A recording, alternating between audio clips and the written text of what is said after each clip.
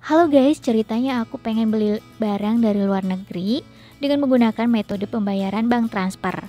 Biasanya sih aman-aman aja ya, tapi ternyata sekarang harus mengisi custom KYC alias EasyWay.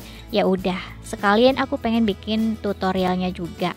Jadi pertama kalian download dulu EasyWay sesuai dengan uh, petunjuk.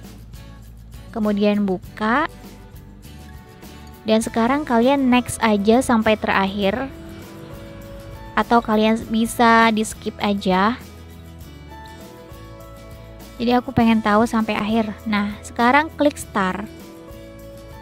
Nah karena kita belum punya apa ya akun jadi kita pilih sign up nah sekarang kita pilih not citizen. Uh, terus pilih resident certificate sekarang pilih other country dan klik start. Nah, sekarang kita diminta untuk memfotokan ARC bagian depan dan ARC bagian belakang. Dan kalau sudah, klik next. Nah, di sini udah otomatis terisi nama dan ID card kita dan sekarang kita uh, isi nama Chinese kita, kalian bisa klik manual atau kalian bisa juga uh, menyalin di Google Translate. Oke. Okay. Dan sekarang kita lanjut. Di sini juga udah terisi otomatis kayak resident certificate expired date dan birth date. Uh, dan sekarang kita lanjut mengisi user ID. User ID ini aku pakai yang username-nya di shop akun Shopee aku ya. Nah, ini kita klik lagi password yang baru. Bikin password baru dan uh, klik ulang password yang tadi udah dituliskan dan sekarang kita isi nomor telepon kita. Setelah itu kita isi email kita, jangan hotmail ya. Jadi ini email yang aktif.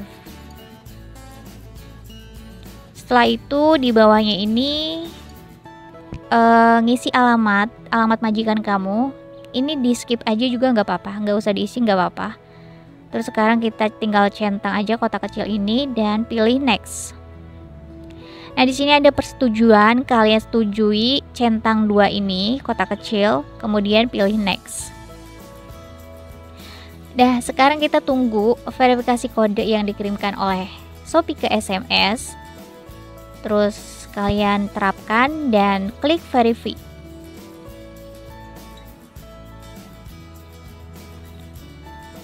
Oke. Jadi ini kita udah uh, sukses, tapi di sini statusnya masih validating. Jadi belum terkonfirmasi. Kita tunggu beberapa menit ada SMS seperti ini. Berarti akun EasyWay kita udah terkonfirmasi dan sukses. Statusnya sudah sukses.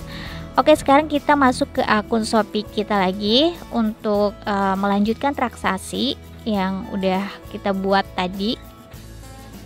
Nah, sekarang kita di sini kita isi Chinese name nama Mandarin kita seperti tadi dan uh, nomor telepon kita isi. Nah, setelah itu pilih submit. Pilih submit dan pilih confirm. Nah ini katanya belum bisa digunakan Jadi kita tunggu lagi sebentar beberapa menit Terus kita uh, ulang lagi seperti tadi Isi nama dan nomor telepon dan pilih submit. Konfirmasi. Dan Alhamdulillah sudah sukses. Sekarang kita udah bisa belanja barang di luar negeri dengan menggunakan metode pembayaran bank transfer. Semoga video ini bermanfaat. Sampai jumpa di video aku berikutnya. Assalamualaikum. Dadah.